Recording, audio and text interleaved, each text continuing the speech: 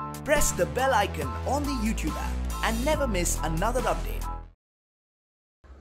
Zee TV के popular show Kundali Bhagya में जैसे कि अब तक आप सभी ने देखा कि शो में कई सारे टर्न्स एंड ट्विस्ट आए हैं, जहाँ पृथ्वी और शलिन का सच प्रीता को पता चल जाता है वहीं प्रीता डिसाइड करती है कि वो ये सब सारी बातें घर वालों को बताएगी, लेकिन पृथ्वी और शर्लिन प्रीता के सामने हाथ जोड़ते हैं और उससे माफ़ी मांगते हैं।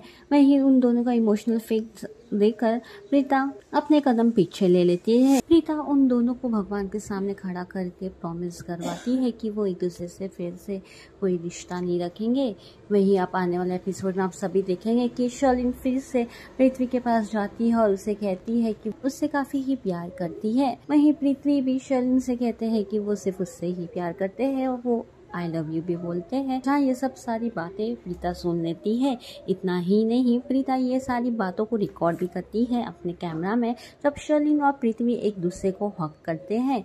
जहाँ ये सब रिकॉर्ड करने के बाद प्रीता डिसाइड करती है कि ये सब सारा सच वो जाकर ऋषभ को जो बता देगी। वो ऋषभ के सामने जाती है और वो कहती है कि शर्लिन और पृथ्वी का एक्स्ट्रा मैरिटल अफेयर जहाँ ये बात सुनकर ऋषभ काफ़ी ही शौक हो जाएँगे। वही अब देखना यह है कि शो में क्या एक नया ट्विस्ट आएगा।